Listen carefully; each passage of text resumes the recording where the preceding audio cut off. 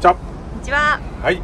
はい、豊さん。まあ速報です。そうです。ね。本当に速報も速報なんですけれども、まあ日本ハム対オリックスの間で、まあ、トレードが行われたという。はい、びっくりしました。まあびっくりしたね。ね、ピッチャー同士ですよね。そうだね。これ、はい。あのなぜびっくりしたかというと、うん。やっぱり吉田康生を 日本ハムが出すということで、まあ、ドラフト1ルーキー、まあ、高校生のスター選手を、まあ、早々トレードをしてしまうというねはい。この辺りがちょっと驚いたという、うん。まあ、オリックス側の方は黒木という、まあ、大学を出て、うんえーまあ、一時期ちょっと活躍したけども、はい。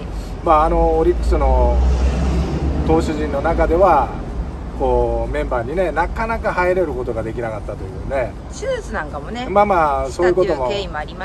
あったね、はいだからまあそういう意味ではなんかすごく、まあ、お互いにとって、まあ、利点があるかというと、まあ、黒木にとってはすごくこう働きやすい環境うん。またその競争相手という意味ではオリックスよりもまあまあ即戦力でいけるかなという感じがするんだけどもこれは先発ということですかね。いや先発じゃないねやっぱ中継ぎ強化だというふうには思うけどもなるほど。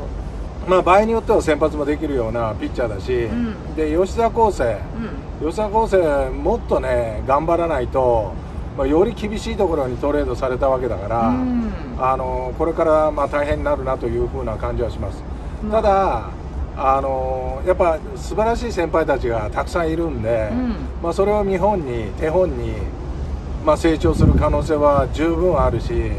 まあ、彼の持ってるポテンシャルから考えると、まあ、その競争に勝っていかなきゃいけないけどもそのポテンシャルは持ってると思うんだよね、うあーだから、まあ、いいチームかなというふうには思うよね。ん。ね、チームもね、あの優勝してるようなチームにまあ、そうだね行くということでね、それもだいぶ違いますよね。うんだから、まあ、吉田康生を見てると、うんまあ、鼻っ柱が強くて、んなんか言うこと聞かないのかなっていうような まあ感じもするけどもただよりレベルの高いところに入っていくとね、はい。やっぱり何かを吸収して、んやっぱこう成長していかなきゃいけないから、はい。あの聞かざるを得ないし、まあ、プライドなんかもっと高いような人間がたくさんいるチームだからね、うん。だからそういう意味では非常にあの期待もしたいなっていうふうには思ううね。じゃあもうこうお互いにとって全く違う環境に身を置くというようなことになるんでしょうかね。まあそうだね、うん。まあ黒木がオリックスにいた場合ではやっぱ中継ぎだとか先発だとかそういうことをするときにやっぱこう競争相手っていうのはすごく多かったけども、まあ、日本ハム行くと少ないとは言わないけども、レベル的にはまだまだちょっと低いかなというオリックスから考えるとね。だからそういう意味では働く場所を確保できるかなっていうような感じはするよね。うん。じゃあこれからはじゃあ環境違ったところでどのような活躍ができるかっていうのがすごく期待されるっていうことですよね。まあそうだね、まああの吉田康生の方はうん。黒木っていうのは一つの形を持ってると思うんだけども、はい。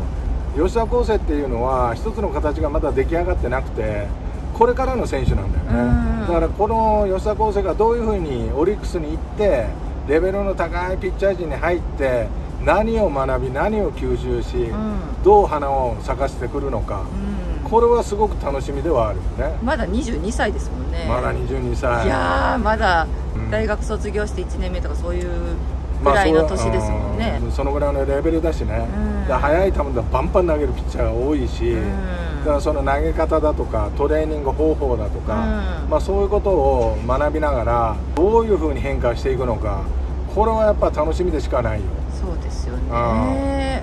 まあね監督あの中島監督がね秋田出身ということでね。ああそうだね。その同郷っていうのもね。あーまあやっぱり同郷の選手ってやっぱり気になるもんだしね。うん。だからそういう意味ではあの目をかけてた。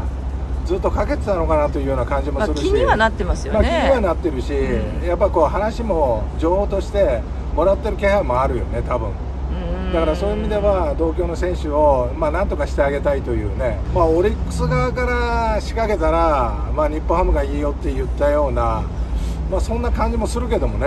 どうなんでしょうね。まあ、吉田康生っていうのはやっぱ名前というのは商品価値あるし、うん。だからそういう意味ではその先発をしますよって言えば、うなんかお客さんの収穫力っていうのはあるような気はするんだけども、ね、スター性ありますし、ね、でもそれだけじゃやっぱプロって飯食っていかないからね。うん。だからその同郷の先輩が監督というね、まあ、チームに入ってどう変わっていってくれるのか、まあ、そこら辺は楽しみにしたいと思うけどもね。うん、いや本当そうですよねこう私もすごく注目していたピッチャーなので、まあ、そうだね、うん、っていう人も多分多いと思うんですよね。あの高校の時にね、まあそりゃそうだよね。金足旋風があってうん。皆さん期待はしていると思うので、まあそうだね、うん。だからそういう意味ではなんかねこの若さでトレードになるというふうには思ってなかったけども、うん。でも早いうちにね、まあ、そういった環境を変えてできるっていうのはまあ一つのチャンスかもわからないし、うん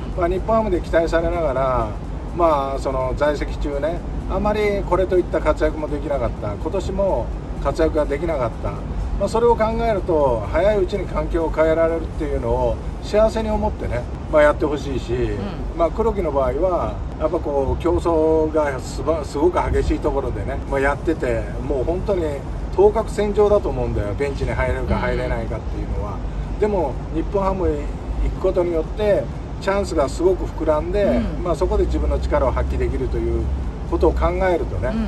まあ、このトレードっていうのは双方にとっていいトレードじゃないかなっていうふうに思うよね。うん。まあ、お互いねコメントを出してるんですけれども、はいはい。結構前向きにね両方捉えていて、ね、また 吉田選手からすると大阪という地？あこれまた新鮮でしょうね多分。あまあでもあの甲子園でね、うん。あの活躍した土地でもあるしだからそういう意味ではあの、まあ、楽しみにしてるのかなっていうような感じもするしね、だからまあ双方お互いにポジティブなあものっていうのは必ず出してくるよねこれは。ね、うん。まあ、チームにとってもね選手にとっても多分ねあのメリットってたくさんあると思うのでね。いやメリットにしなきゃいけないしね、うん。そのメリットにするっていうのはやっぱ成長してやっぱ活躍するっていうことだよね、うん。それとやっぱこう競争が激しいだけに、うん。やっぱライバルもたくさんいるからね。あトレードが来るって言って歓迎はしてくれないよ。絶対に、うん。でも歓迎されるのにはやっぱ活躍するっていうことだよ。ねそうですよね。それがない限り、うん。やっぱこう仲間に入れてくれないぐらいの 厳しい思いでね、うん。まあ、取り組んでほしいなっていうふうに思うよ、ねただ同級生とか若い選手がたくさんいるんでねそうですよね、あのーオリックスの方は、投手陣の中に、ね。だからまあそういう意味ではこうなんてなんていうのかな切磋琢磨できそうな、うん。まあそういったチームだし、ん。まあ黒木もあのーなんていうのかな。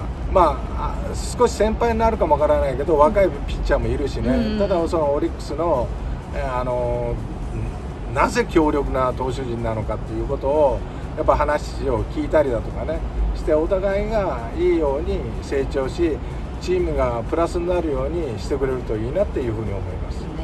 はい。まあ突然のね速報でちょっと驚きまあまあましたけど、そうだね。驚いたけどもね、うん。まあ急遽ねこういう場所で撮ってるけども。どこだここはみたいなね。ね。